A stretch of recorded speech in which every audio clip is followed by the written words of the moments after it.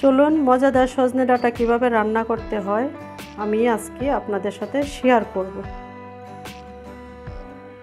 আসসালামু আলাইকুম, সবাই কেমন আছেন? আলহামদুলিল্লাহ, আমিও ভালো আছি। তো আমি আজকে আপনাদের সাথে সজনে কীভাবে রান্না করতে হয়, ওই রেসিপিটা আমি আপনাদের সাথে শেয়ার করব। তো সজনে রান্না করতে কি কি লাগে আমি এগুলো সবগুলো রেডি করেছি। কারণ আমি তো সবসময় রান্না করলে সব কিছু রেডি করে তারপরে রান্না করি। এখানে পেঁয়াজ কুচি করে রেখেছি, দুইটা পেঁয়াজ এখানে। আর এখানে রসুন পেস্ট, পেঁয়াজ পেস্ট, আদা পেস্ট, তারপরে যে সরিষা পেস্ট পেস্ট না, এটা আমি ব্লেন্ড করে নিয়েছি শুকনা সরিষা। আর এখানে মাছের পেট বলে, পেটি বলেন, যাই বলেন, কাতল মাছের পেটি, বড় মাছ, অনেক বড় একটা মাছ ছিল, প্রায় সাত কিলো হবে, ওইটার পেটি একটা, অর্ধেকটা। আর এখানে সজনে রেখেছি প্রায় হাফ কিলো। আর এইখানে টমেটো, আমার সাত বাগানের টক টমেটো আর সরিষার তেল, আর এখানে তো সব কিছুই যে মশলাগুলা রেখেছি।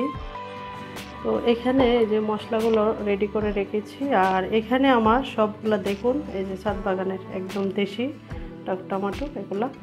তো এগুলো দিয়ে আমি এখন কীভাবে রান্না করব আমি আপনাদের সাথে শেয়ার করছি। তো হাঁড়িটা, ফ্রাই প্যানটা আমি বসিয়ে নিয়েছি। এখন আমি পরিমাণ মতন তিন টেবিল চামচ সরিষার তেল দেব। তারপর আমি এই যে পেঁয়াজ কুচিটা ঢেলে দিলাম। এখানে বড় দুইটা পেঁয়াজ দিয়েছি। এখন আমি একটু নেড়ে দেব। তো পেঁয়াজটা এখন বাজা হয়ে গিয়েছে। আমি এক টেবিল চামচ আদা পেস্ট, তারপর এক টেবিল চামচ না, দুই টেবিল চামচ রসুন পেস্ট, তারপরে এই যে পেঁয়াজ পেস্ট দেব। এই যে দুই টেবিল চামচ এখানে দিয়ে তারপরে একটু নেড়ে দেবো। তারপর এই যে দেখুন আমি এক টেবিল চামচ, এই যে এই যে মিডিয়াম চামচ, এক চামচ, এই যে সরিষা পেস্ট। সরিষা ব্লেন্ড করে নিয়েছিলাম তো দিয়ে দিলাম। তো এখন এটা একটু নেড়ে দেব। নেড়ে দিয়ে বাকি মশলাগুলো অ্যাড করে নেব। তারপর আমি এক টেবিল চামচ লবণ দেব। তারপর দেব হলুদ গুঁড়ি, এক টেবিল চামচ তারপরে দেব হালকা হাফ টেবিল চামচ মরিচ গুঁড়ি। তারপরে দেব ধনিয়া, একদম অল্প পরিমাণে হাফ টেবিল চামচ থেকেও কম দেব। তারপরে দেব হাফ টেবিল চামচ জিরে গুঁড়ি দিয়ে তারপরে নেড়ে দেব। ভালো করে নেড়ে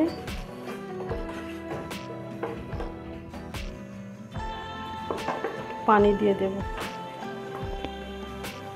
পানিটা আন্দাজ পরিমাণ দেব প্রথমে। দিলাম, তারপরে মশলাটা একটু কষিয়ে আসলে সজনেগুলো দিয়ে দেব। এখন মাছের পেটিগুলো আমি দিয়ে দেব। দিয়ে একটু কষিয়ে আসলে নামিয়ে তারপরে সজনেগুলো দিয়ে দেব। মাছটা কষানোর পরে উঠিয়ে তারপরে সজনেগুলো দিয়ে দেবো। তো মাছটা এখন কষিয়ে আসছে, আমি এখন নামিয়ে নেব সবগুলো মাছ, একে একে সবগুলো নামিয়ে নেব। সবগুলো নামিয়ে নেব। তো দেখুন, এই যে কষানো মাছটা আমি নামিয়ে নিয়েছি, এটাও কিন্তু খাওয়া যাবে। এই কষানো মাছটাও কিন্তু খেতে ভীষণ মজা। এখন আমি সজনাগুলা, সজনেগুলো দিয়ে দেব এখানে। তারপরে নেড়ে দেব। নেড়ে চেড়ে সিদ্ধ হওয়া পর্যন্ত অপেক্ষা করব। তো সজনাটা একটু কষিয়ে আসছে। এখন আমি পানি দেব পরিমাণ মতন সিদ্ধ হওয়া পর্যন্ত। মানে সিদ্ধ হতে যতটুকু পানি লাগে আর কি পর্যন্ত দেব। দিয়ে নেড়ে ছেড়ে আবার ডেকে দেবো।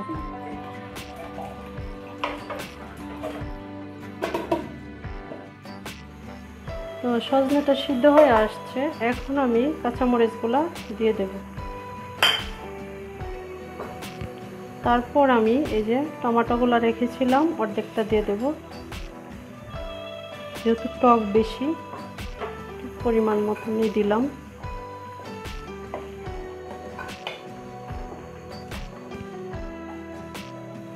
টমেটোটা দেওয়ার পরে আমি এই যে মাছটা ভুনা করে রেখেছিলাম, এটা একটু দিয়ে দেব। ওকে তারপর একটু হালকা নেড়ে চেড়ে দেব। দেখুন, মাছটা যেহেতু ভেঙে না যায়, হালকা নেড়ে চেড়ে দেব। তারপর পাঁচ মিনিট পর নামিয়ে ফেলব। তো দেখুন, আমার সজনে ডাঁটাটা হয়ে গিয়েছে। সজনে ডাঁটা কেউ সজনে ডাঁটা বলে, কেউ সজনে বলে, কেউ সাজনা বলে। আমাদের হবিগঞ্জের ভাষায় সাজনা বলে, আবার কেউ ডামস্টিক বলে। তো এগুলো আসলে সবাই পছন্দের খাবার। হয়তো আমার খুবই পছন্দের সজনে। খুব ভালো লাগে আমার কাছে। তো আমার এই সজনে ডাটা রেসিপিটা যদি আপনাদের কাছে ভালো লাগে, তো লাইক করবেন শেয়ার করবেন সাবস্ক্রাইব করবেন। তো সবাই আমার জন্য দোয়া দোয়া করবেন। আসসালামু আলাইকুম। আল্লাহ হাফেজ।